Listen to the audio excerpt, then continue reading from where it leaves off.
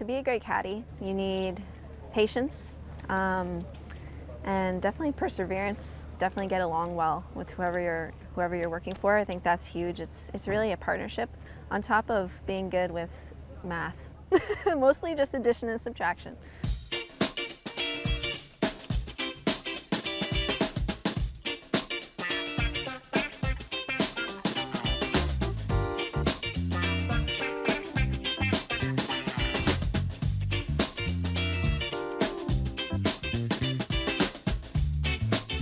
Well, it starts, I guess, as soon as you get to the course, uh, the Monday usually of the week, and you go walk the course, um, get all the yardages, make sure everything in the yardage book is correct, and really sort of scout out where you want to be and also where you don't want to be. Usually it takes a couple hours to walk around the course and do that, and then um, you sort of lay out the game plan for the player. So when the player gets there, you say hit it here, and, and they're able to do that.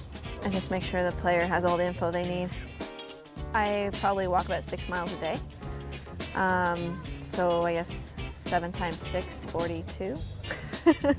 42 miles a week, um, which is a lot when you have a 45 pound bag on. It's a lot even if you don't have a 45 pound bag on. At the end of the round, we usually have a small, I guess, decompressing, um, just sort of relax for a little bit, usually grab a bite to eat and talk about some things that we can improve or change um, for the next day. Um, talk about things that went well and things you know we can improve on. Then she'll generally practice if there's something that she needs to work on and then usually try to get to bed early. My least favorite part of the job would be um, if we ever disagree.